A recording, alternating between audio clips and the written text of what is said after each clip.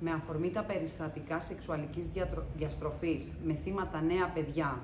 και επειδή τα περιστατικά αυτά δυστυχώς δεν είναι μεμονωμένα, αφού σύμφωνα με τα στοιχεία της UNICEF, πάνω από 2 εκατομμύρια παιδιά κακοποιούνται σεξουαλικά ετησίως, με τη χώρα μας να αποτελεί μια χώρα προορισμού πια και όχι ενδιάμεση και με τις δημόσιες δομές να καταραίουν, η Ένωση Γονέων σε μια προσπάθεια να ενεργοποιηθεί οργανώνει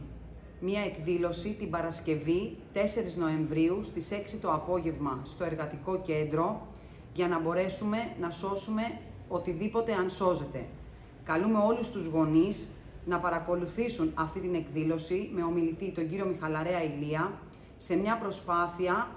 να μάθουν, να γνωρίζουν έτσι ώστε να μπορούν να προλάβουν τον οποιοδήποτε κίνδυνο ενδεχομένως παρουσιαστεί.